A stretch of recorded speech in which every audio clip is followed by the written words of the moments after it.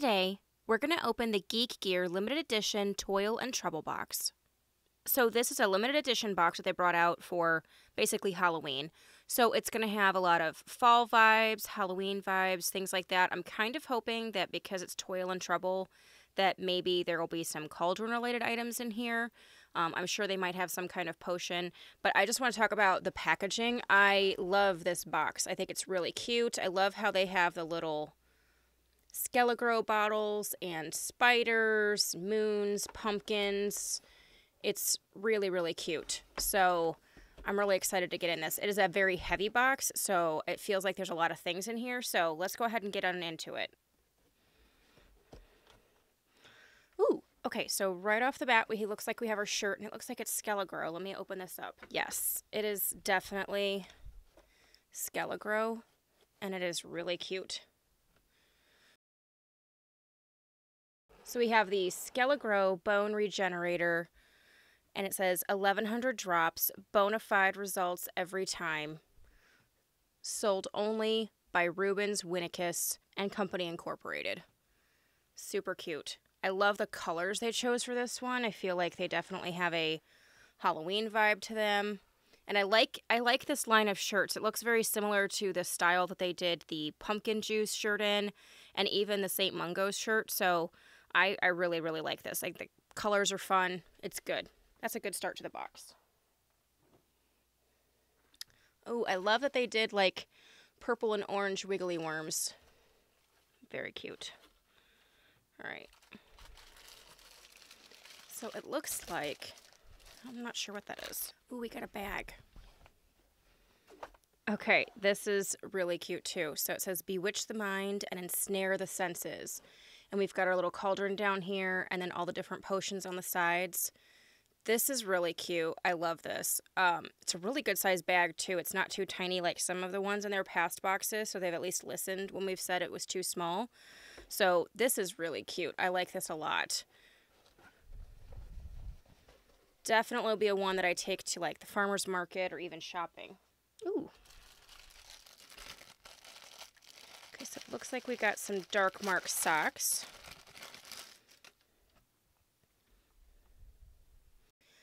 We have a really nice white sock with the dark mark logo. These are super soft and a very nice tight weave on the sock. I kind of wish it wasn't a white sock though. I uh, because I feel like it's just going to look dirty after a couple wears. So I almost wish that it was a black sock with either a gray dark mark or a white dark mark. Or even a red, since that's what it technically was in the book. But these are nice. I think my husband will probably confiscate these. He's a Slytherin and he loves the dark mark on there, so I, I think those will end up going to him. Ooh, I think we got a pin. It says follow the spiders and it's got an acromantula on there. Let me open this up so you can see it better.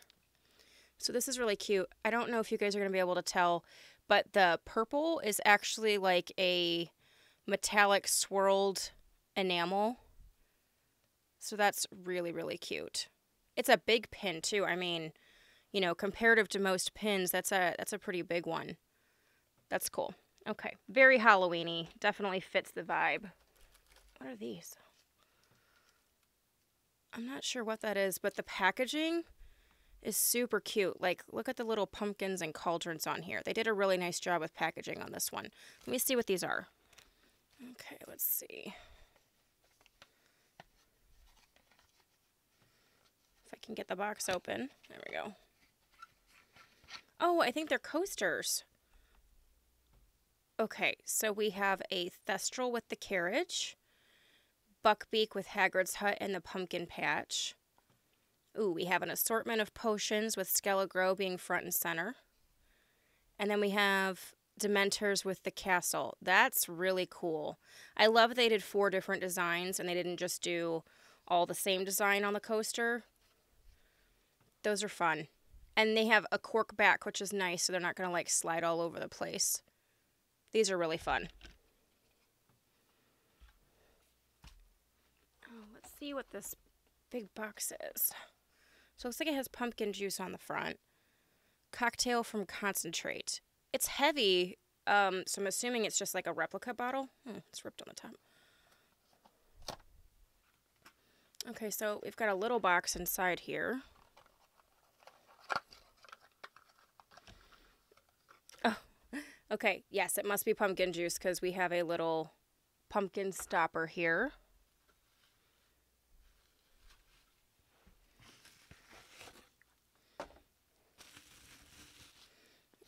And we have our pumpkin juice bottle.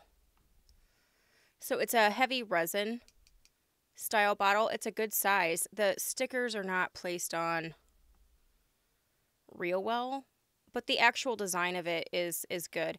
We actually made pumpkin juice on here a couple years ago. Um, I gave you a prop version as well as a drinkable version. If you haven't checked that video out, I highly recommend it. I'll put at the end of the video so you guys can see it because the pumpkin juice in there tastes just like the one in the Wizarding World, which I really like. I, I like butterbeer better than pumpkin juice, but I, I do like the pumpkin juice. So let's see what it looks like with the, oh, so the stopper doesn't really stay on. It's just kind of on there. So it's cute.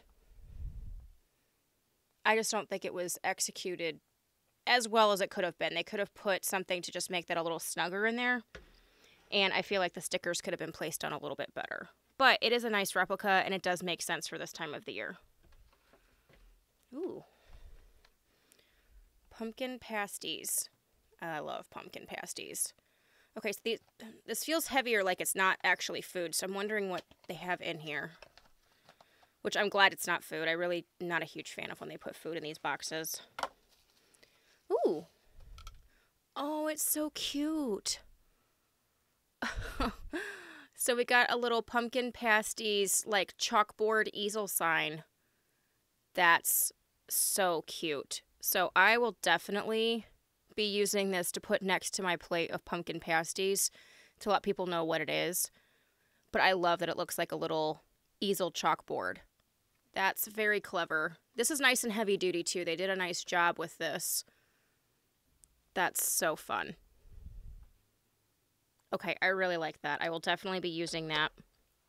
I'll try to post a picture on Instagram because I think I'm going to make some pumpkin pasties for Halloween. So I'll definitely put that next to my plate. Ooh, what is this?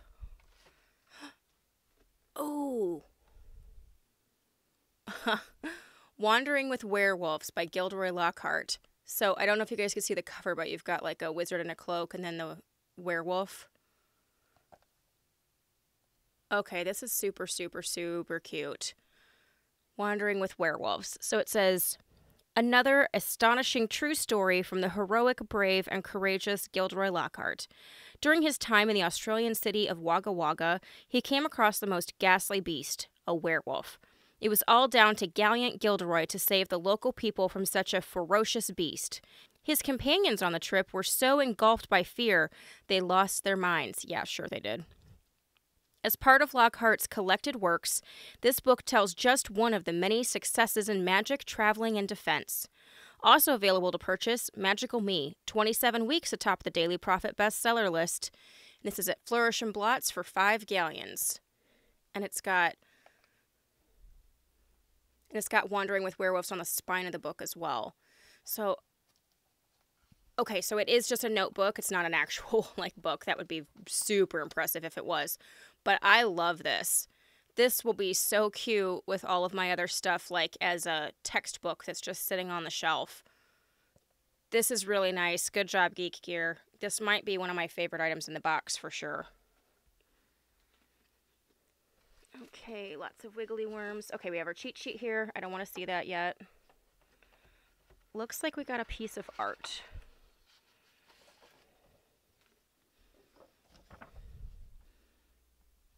Okay, so we got a piece of art of uh, Nearly Headless Nick. It looks like it's done in watercolor, I think.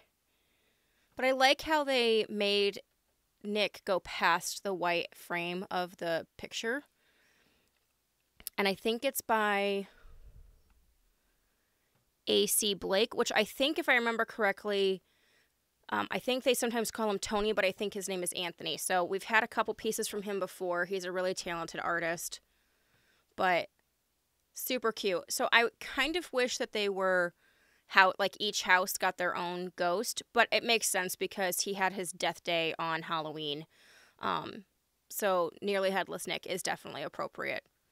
This is super fun. I don't know that I'll actually frame it and put it up just because it doesn't necessarily go with all my stuff, but that is really cute. And I probably am going to have an art sale of some kind coming up where you guys can potentially get some of the prints that you see on here that you like and maybe would go great with your collection. Okay, so I think, yeah, looks like that's everything. Let me go ahead and read the cheat sheet here.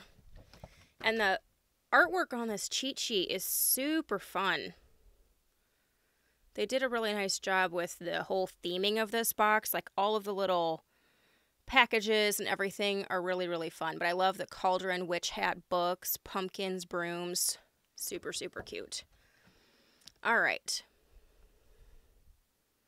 It says, Hello, pumpkins. A massive thank you from the team here at Geek Gear for purchasing the Geek Gear limited edition Toil and Trouble box. Something wicked this way comes. We have carefully designed this spooktacular box to bring magic straight to your door inspired by pumpkins, skeletons, creepy crawlies, and more. To all of your fellow geeks, wizards, and witches out there, thank you for being a part of our ever growing family. Okay, so we had the Skele-Gro advertisement t shirt, and I love that shirt. We have the Ghost Portrait by Tony Blake. Okay, so I was right. So it has on here, go show him some love on Facebook at Ant Black Art and Instagram at Tony Blake Art. So definitely go check out his work. Um, like I said, the other stuff we've had in these boxes that were made by him were really, really nice. Then we have the Wandering with Werewolves notebook. Love this. This might be my favorite item in the box because I just think it's super unique and I love how they executed it. We have the set of four spooky coasters, villainous socks with the dark marker on there. We have the pumpkin juice bottle replica, which I think is, is a good replica, but I, I just wish it was executed just a little tiny bit better. Then we have the mini pumpkin pasties menu board. Love, love, love that. I will definitely be putting that next to the plate of pasties. The Follow the Spiders pin and the Potions tote bag, which I really liked the tote bag too. So, I, I mean, I think they did a great job. They did a nice job of balancing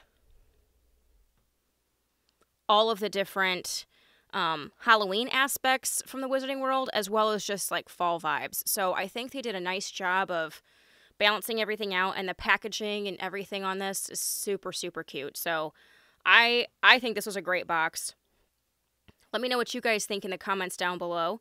And if you guys like this video, give me the thumbs up. If you haven't subscribed, please do so, and we will catch you guys later. Thanks so much.